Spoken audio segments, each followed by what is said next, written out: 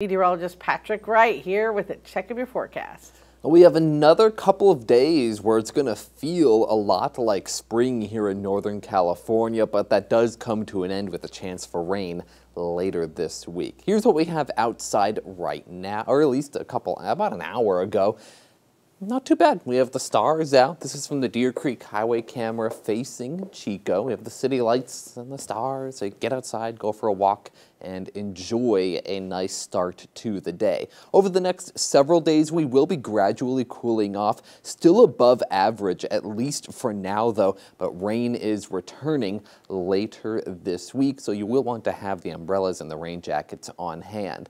Today though, we will have a few high clouds out and about. That is about it As this high pressure weakens, we will see a little extra motion in the atmosphere. So in some of the mountains, we see a chance for a few clouds to start to develop. So that is something you may notice out and about today, and especially heading into tomorrow, where that high pressure really loses its influence here in our area. So we'll have a better chance at some clouds in the North Valley and maybe a sprinkle or two in some of the mountains north of Redding. I don't think we'll see any of that in the valley, but it is something just to keep an eye on the sky as that does start to develop with more mid to high level clouds rolling through by 4 o'clock tomorrow. That'll add a nice texture to the sky. Today, temperatures looking absolutely fantastic. Get outside and enjoy it. Mid 70s for the most part in the valley.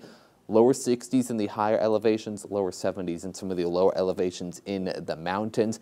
And as we head into the next several days, we'll have this ridge of high pressure breakdown, as I mentioned, but heading into Friday and into Saturday is when our next wintry weather system will move in. This will bring a chance for rain to the valley, snow to the mountains, snow levels hovering right around 4 to 6,000 feet depending on the day and the time, but this will move through heading into Sunday with another system beginning to develop and sliding through, not as strong on Monday. But here's what we're looking at with some of the rain chances. This will begin Friday, some heavy rain at times. Overall in the valley, I think we'll see about half an inch to no more than an inch of rain for most people. Some of the places in the foothills and maybe Redding could get above an inch of rain, so it is something we will watch as we get a little closer. A brief break on Sunday as we are in between systems, so a few clouds around, some sun breaks at times, still not feeling like spring, and then another system rolling in by Monday, bringing a chance for some showers.